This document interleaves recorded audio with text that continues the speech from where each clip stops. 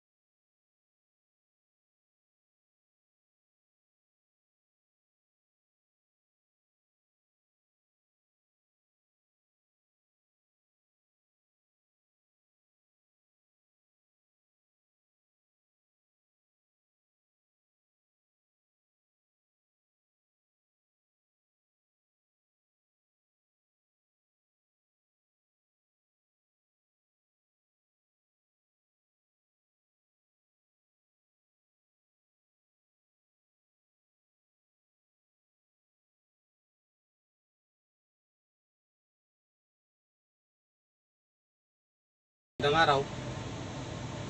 Darapin ko lang sa ano, Limiri. Layo talaga ng biyahe. Antok-antok pa nga sa daan eh. Pwede na! Talagang buhay. Kailangan talagang umayod. Sige ah. Babay ah. Tulungan mo muna yung mga ano ko. Mga kasama ko. Bola lang yan. Nakawa din naman eh. Bigat yung ano eh. Binubuhat. Sige. Bye-bye. God bless.